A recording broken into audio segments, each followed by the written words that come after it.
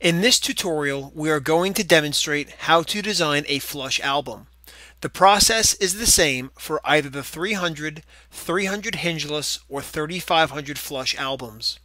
A flush album is when the print runs to the edge of the page. The window open here is where you physically design your album. To start, I'm going to explain what all the different buttons and tools do. In the Tools box, the first button you will see is the Lock button. When this is activated, it prevents anything on the spread from being moved or changed. The next button to the right is the Nudge Layers button. When this is on, you can use the arrow keys on your keyboard to move any layer in the smallest increment. The next button to the right is the Grid Options button. When this is turned on, you will see rulers surrounding the spread.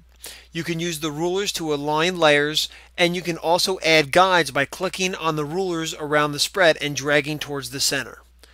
Below the Tools box is the Layers box. This is where you can manually change the layers in your design. The first four boxes you will see are labeled X, Y, W, and H. The X and Y boxes allow you to input coordinates for the layer. The W and H boxes allow you to manually dial in the width and height of your layers. Please note that the software will round your layers to the nearest pixel. The tilt feature allows you to tilt any layer clockwise or counterclockwise. Finally, you will see the Add and Delete buttons. The Add button allows you to add a new layer to the spread.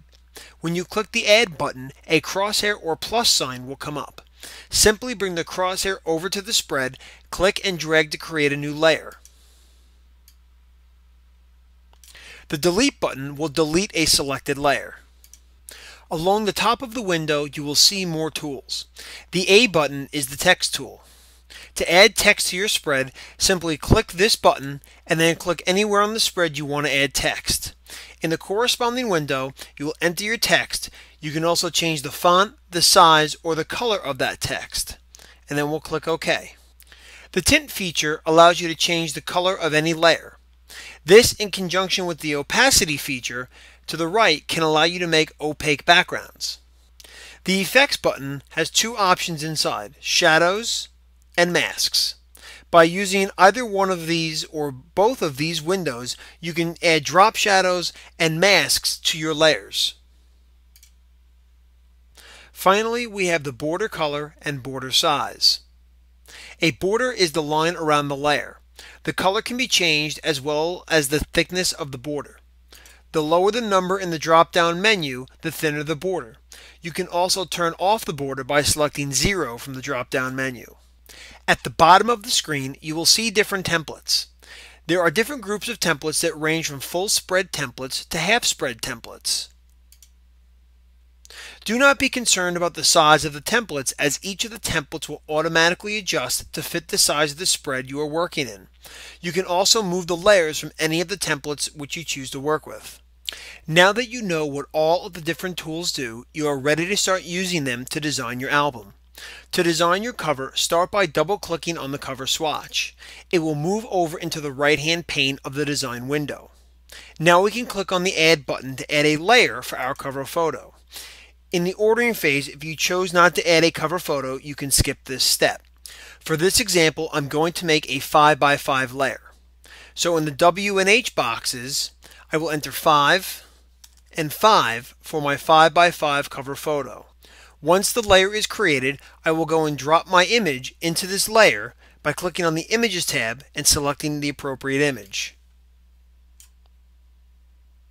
Once I've added my image to the layer, I will move my layer to the approximate location I'd like the cover photo to be on the cover of the album. To make the task a little bit easier, I'll turn my grid on and then click and drag the layer with the image inside to the approximate location. This location should correspond to what you chose on the order form. Finally, all I have to do is crop the image. I do that by double clicking on the image in the layer and moving the green crop box. To leave this screen and go back to, the designer, please click on the Return to Designer button at the bottom. To move on to designing the inside of the album and to continue from spread to spread, we'll click on the Next button at the bottom. Now that your cover is designed, you can start designing the inside of the album. By default, the black area cannot be designed, only the white area. This means that your album would start on the right on side 1. If you would like to start with a spread instead of a single side, simply right click on the black and white spread to the left and select Start with Spread. The spread will now change to all black, meaning you cannot design on that spread. You would now begin designing your first spread right below it in the first white spread. For this example, I will use the default setting and start on side 1. To start, double click on the black and white spread on the left. It will move over to the right side of the design window.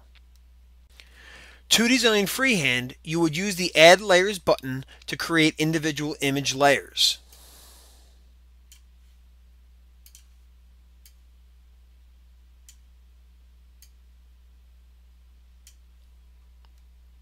You will then be able to drop individual images into those layers.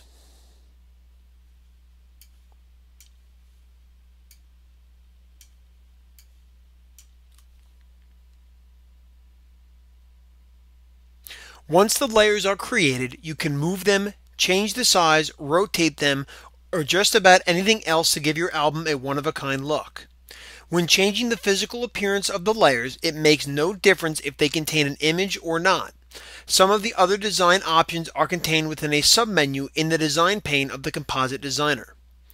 After you have populated a spread with at least one layer in the design pane, you can right-click on any layer to access this submenu. Your options include moving a layer up or down within the order of layers, aligning layers, removing layers, duplicating layers, changing the shape of layers, or changing the layout of the layers. You can also add layers without having to put images in them. To tell a layer you don't want an image, simply access the submenu and then remove the check on the Allow Image option. Also, when designing, you have the option to use templates. To change the group of templates, simply click on the drop-down menu and select whatever group of templates you wish to work with. The red X's in the templates mean that those layers can hold an image. If a layer does not have a red X, it means it cannot hold an image. To populate any one of the templates, simply double click on the template and then answer the question, how would you like to use this template? Your options are change full spread, change right side, or change left side.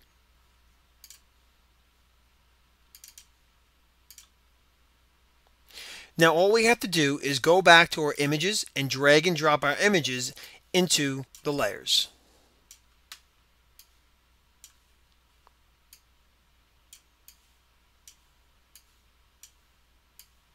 And once again, we can simply crop our images by double clicking on the image within the layer.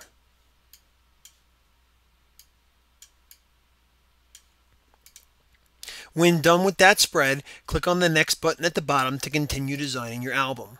As you design, you may want to add more spreads to your album. To add more spreads, simply click on the Add Spread button in the bottom left-hand corner of the design window. You can also move individual spreads within the layout of the album. To do that, right-click on the spread you wish to move.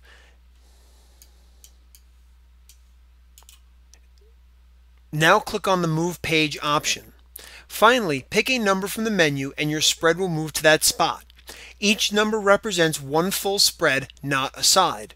So for example, if we were to move the second spread from the number 2 location to the number 4 location, we would right click on the second spread and then choose the number 4 from the drop down menu.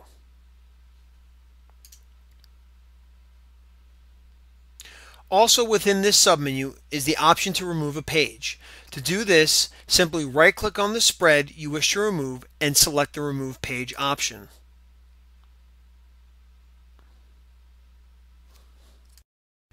When you are about to complete your design, you may notice another half white, half black spread. This is your final spread. You cannot delete this spread or you will not be able to submit the order as you must have a final spread.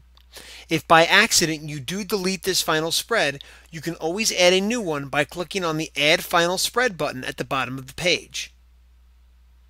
Also by default, your album will end on a single side. If you would like the album to end with a full spread, you can have that option.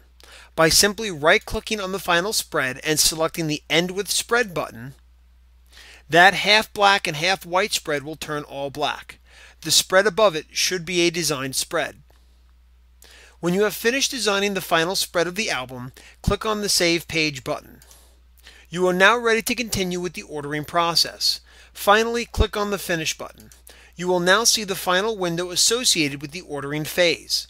In this window, you can order custom end papers, a custom slipcase, request a drop ship address, or indicate any special instructions. When you are finished here, please click on the Finish button. You can now continue on to Step 3, Review Order. You may also notice these lines along the outer edge of the spreads. This is what we call the trim area. These are set by default at 1 half inch in from all four sides. This does not mean we are going to trim a half inch off your album. It simply means anything between the blue line and the edge of the spread has the possibility of getting cut during our trim. Normally we trim about 1 8th of an inch off all outer sides of the book. Our recommendation is that you keep anything you do not want to be trimmed or have the possibility of being trimmed inside these blue lines.